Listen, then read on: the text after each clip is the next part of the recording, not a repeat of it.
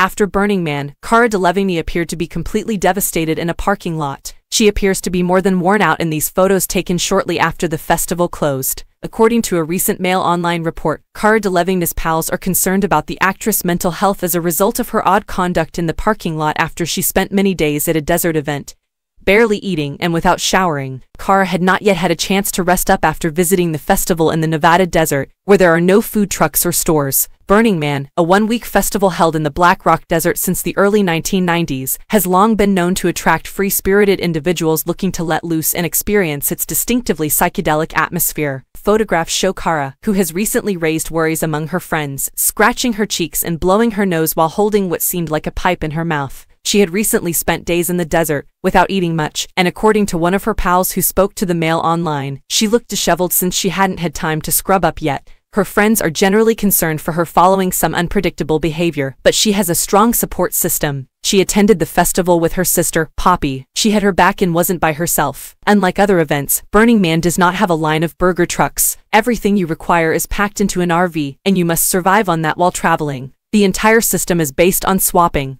was Burning Man burning out Cara Delevingne. Cara's friends and admirers apparently began to worry about her mental health in recent weeks after a string of outward manifestations, which is what caused her to party all weekend at the festival. She was observed looking better while celebrating her 30th birthday in Ibiza with famous people who have been keeping an eye on her, including Sienna Miller, Margot Robbie, her sister Poppy, and Lady Mary Charteris.